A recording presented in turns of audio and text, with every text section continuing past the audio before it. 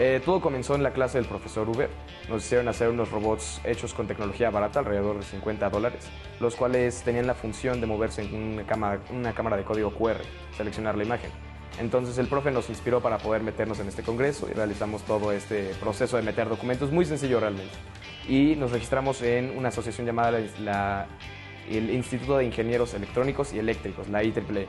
Metimos este documento y fuimos los únicos seleccionados en México para ir a representar allá en Perú.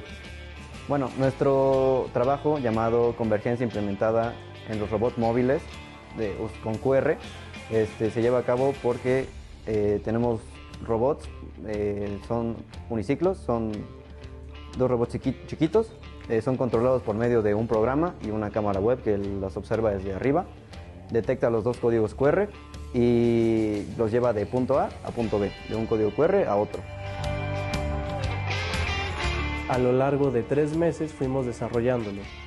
Primero fue la parte del hardware, que es la carcasa con impresión 3D, el armado del circuito con Arduino, Puente H, los micromotores y finalmente fue la tapa y el código QR que nos dieron unas unos stickers especiales para hacerlo.